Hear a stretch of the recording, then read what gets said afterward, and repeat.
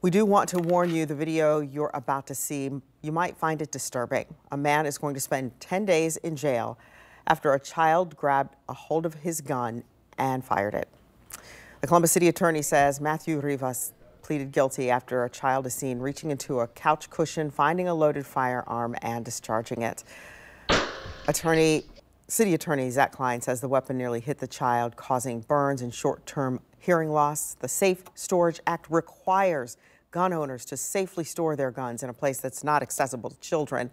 This is the first guilty plea from this new legislation.